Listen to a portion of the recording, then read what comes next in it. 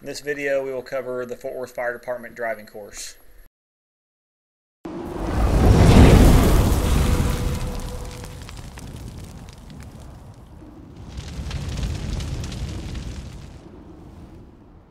This will be a timed continuous driving course. It consists of four Fort Worth Fire Department driving skills as well as five TCFP individual state skills. If a state skill is failed, that particular skill will be retested individually. Penalties for the course include the following. For the state skills, any hit cone constitutes an automatic failure.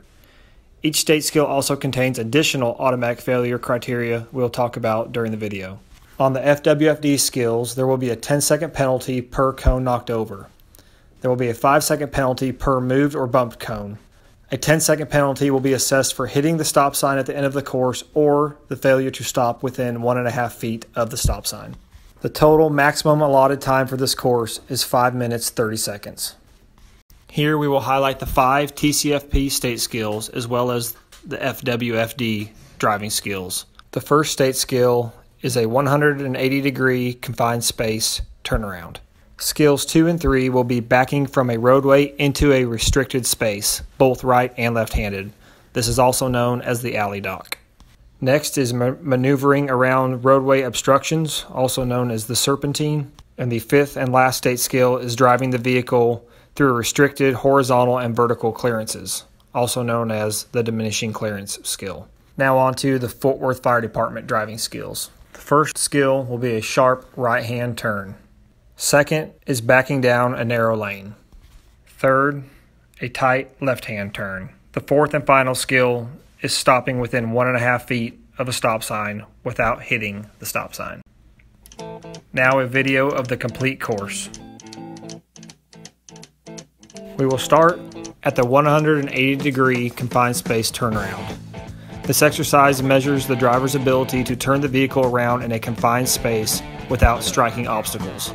This will be a 50 by 100 foot area with a 12 foot opening in the center for entry and exit.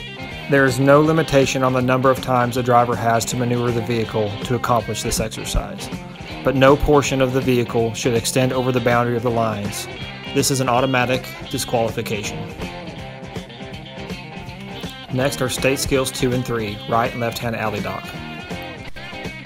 This skill requires a 90 degree turn from the roadway into a 12 foot space.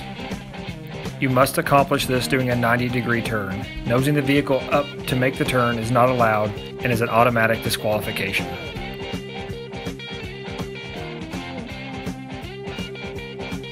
When backing into the alley, your front tire at a minimum must come to the front cone.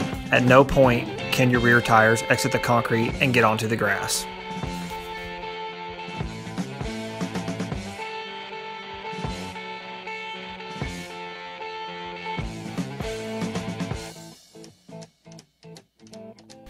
You are not permitted to pull forward and reset at any point. This is also an automatic disqualification.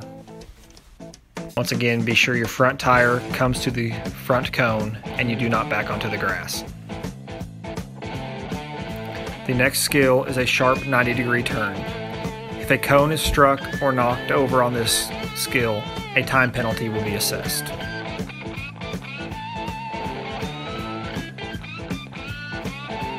Once the turn is made, we will back down the narrow lane.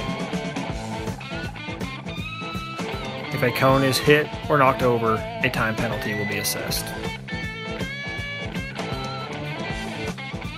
The next skill is our fourth state skill, the serpentine.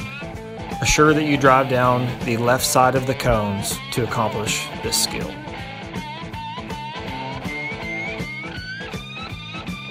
The driver shall maneuver the vehicle around obstructions reverse, and forward. You must do this without stopping to change the direction of travel or without striking obstruction.